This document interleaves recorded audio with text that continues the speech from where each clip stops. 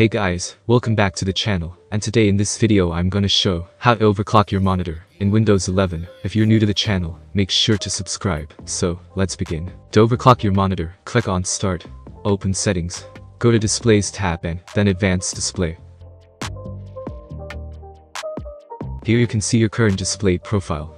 Now, choose a refresh rate, click on it to unfold the options. As my monitor supports 120Hz, so I can overclock it to 120Hz. Choose the refresh rate available to you and you're done.